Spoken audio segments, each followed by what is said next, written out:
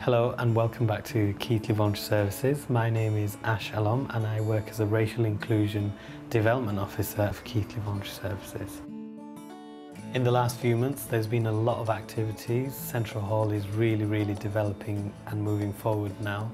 Bricks are being laid, the diggers are there. The space is really opening up now and you can really get a sense of the size of the building. Keighley Voluntary Services currently provide services ranging from training to advocacy and from admin support to marketing and communication. We also provide very specialist services around funding, advice and support. I think this new building is a dream for an organisation like Keighley Voluntary Services. I mean, the new building not only offers us opportunities to run the services we currently run, but it, it opens up a whole new world of services that we can provide for the local community. The process for decision making about how we use the hall and what things that go on in Central Hall is a mixture of um, processes involving consultation face to face, talking to groups, and then in a formal way the decision making processes happen within staff teams, within the subcommittee.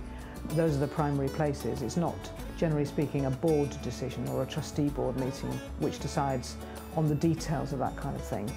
What we do want to make sure is that any kind of decisions we make are based on the business plan, you know, that we're fitting with the mission and with the research that we've carried out over the years. When it comes to accessing and using the services, it is really for the local people of Keighley and we hope and we really do expect that it will be used by all the communities in Keighley. The building provides fantastic opportunities for community cohesion and the coming together of different cultures and different backgrounds and I think we're really wanting to maximise the potential that this new opportunity provides. Well, the next few months I'm sure are going to be very challenging. Um, we've still got to run the uh, services that we currently provide, but we continue to oversee the development of Central Hall and as you can imagine, whilst it's absolutely exciting, there's a lot of work to be done there.